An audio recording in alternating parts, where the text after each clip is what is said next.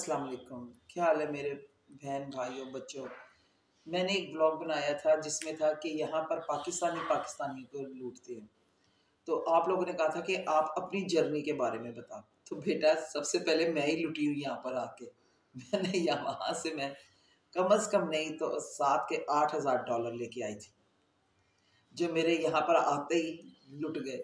लोगों ने मुझे यही धोखा दिया। किसी ने कहा, हम आपको ये कर देंगे, ये घर ले लें। वो हज़ार डॉलर का घर था। हज़ार डॉलर हज़ार डॉलर के मैंने कितने घर लिए, आप बता नहीं सकती मैं, जो मुझे धोखे में देते रहे सारे। लेकिन वो घर इतने महँगे नहीं थे। अब ये है कि हैंड टू माउथ हो गए हम लोग। और, कभी ये कर लो, हम आपको ये करवा देंगे, हम आपको वो करवा देंगे, मगर ऐसा कुछ नहीं हुआ। ये है कि बड़ी मुश्किल से हमें टीआरसी हमने बनवाई।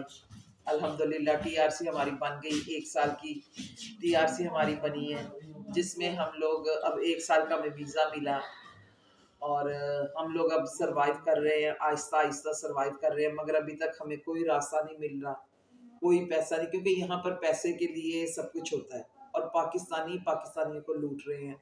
मैं यही कहूँगी, आओ तो मैंने नंबर अपना दिए हुए है, किसी के पास मत जाओ अल्लाह के वास्ते, अल्लाह के वास्ते कोई मदद है, कोई हेल्प है, सीधे हमारे पास आओ। अल्हम्दुलिल्लाह, आपको कभी नुकसान का सामना नहीं करना पड़ेगा, क्योंकि यहाँ पर अब मैं बैठी हुई मुझे इतना समझ आ गई है, सब कुछ अपना लुटा के कि हम लोग अपने पाकिस्तानी भाइयों का साथ देना चाहिए, जो प्रदेश से आते हैं। पता नहीं कौन कैसी ख्वाहिशें लेके आता है और यहाँ आके लुट जाता है, अपने भाइयों के हाथों से, अपने ही वतन वाले लोगों के हाथों से। तो यही कहूँगी, कभी किसी के हाथ पे मत चढ़ो। अल्लाह के वास्ते मेरा नंबर सबके पास है। आओ, मेरे पास आओ। कोई हेल्प चाहिए, मैं आपकी मदद करूँगी।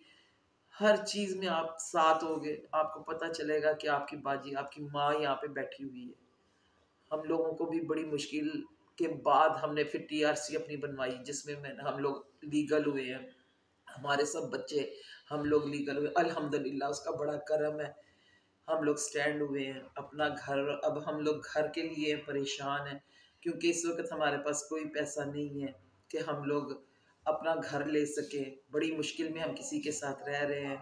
उसकी मेहरबानी जो हमारे साथ है, जो हमें, जिसने अपने पास रखा हुआ है, बड़ी बड़ी मेहरबानी। और मैं यही कहूँगी, मेरा नंबर आपके पास है।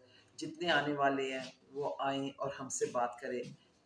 पहले आप खुद बाहर घूम लेना, अपनी ख्वाहिशें पूरी कर लेना। जब थक जाओगे ना फिर आना कि हाँ जी, माँ जी, ये मसला हमारे साथ हुआ है, ये मसला हुआ है। क्योंकि सबसे पहले तो हमारे साथ ही सब कुछ हो गया।